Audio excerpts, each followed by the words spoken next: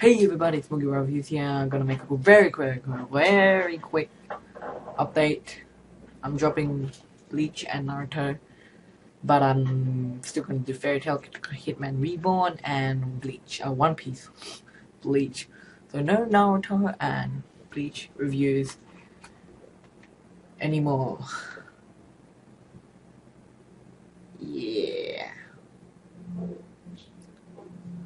Drink some water after this. Bye.